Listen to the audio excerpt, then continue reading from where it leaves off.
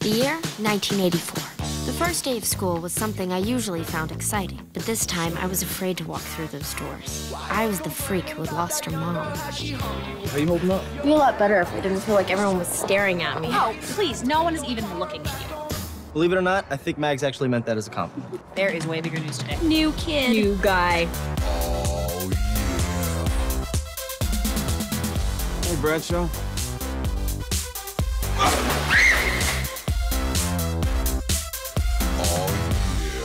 Have some explaining to do. While I had spent my summer grieving and letting go of my childhood, my friends were falling in love and letting go of their virginity. Wait, you lost your virginity? It's no big deal, Carrie. I mean, sex isn't everything. Carrie, you okay?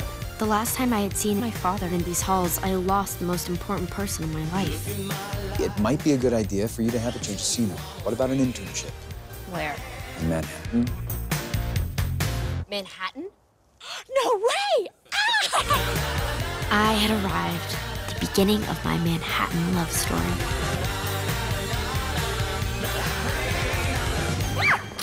Why'd you do that?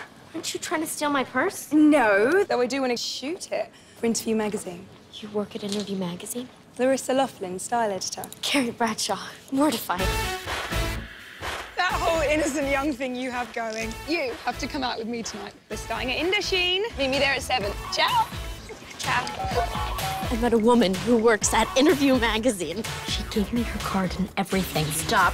Sebastian called here. For you? For your number. Shut up. Think he wants us to the dance? This came for you. Oh, this must be a mistake. I wondered where this golden chariot would take me. To the new beginnings dance in Sebastian, or to Larissa and a new world? Where to? It was a good question. There you are. Oh, and in the dress. It looks faboo on you. Carrie, this is everybody. Everybody, this is Carrie.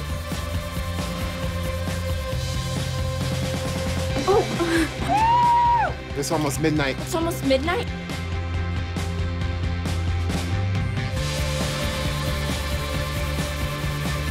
It was the best night of my life. The Carrie Diaries, series premiere, Monday, January 14th.